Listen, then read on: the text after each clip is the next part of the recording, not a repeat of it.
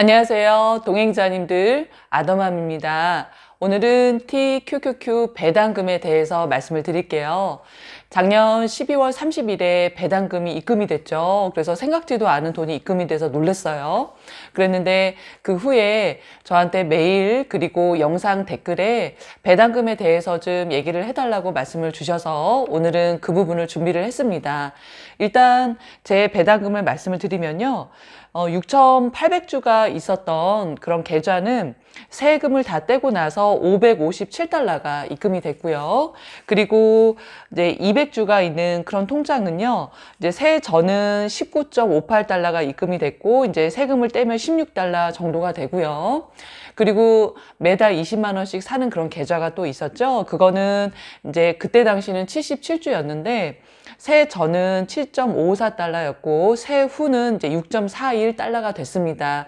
그래서 이거는 어떤 기준으로 이렇게 지급이 됐냐면요. TQQQ 배당금은 이제 1년에 한 번씩 지급이 되는데 그것도 줄 때가 있고 안 줄 때가 있어요.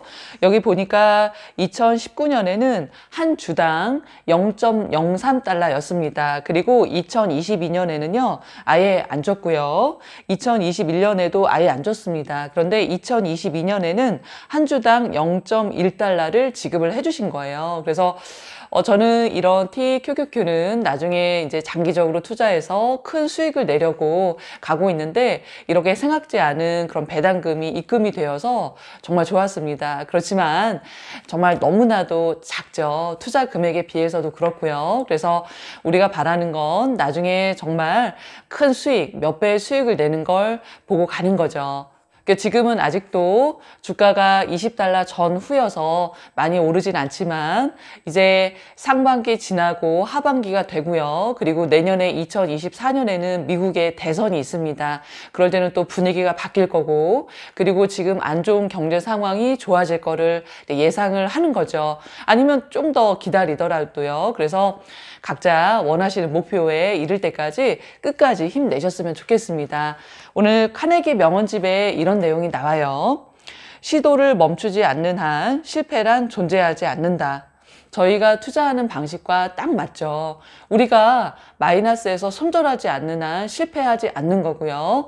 이럴 때 보는 그런 마이너스는 그냥 그런 사이버 머니에 불과한 겁니다. 이럴 때 오히려 싼 값에 사두면 저렴한 값으로 사니까 좋은 거고 나중에 주가가 오르게 되면 그리고 또 내가 목표한 금액에 매도를 하게 되면 나는 그때 성공을 하는 것입니다.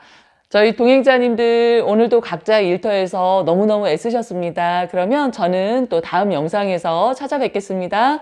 안녕히 계세요. 미소 여기 봐. 안녕히 계세요.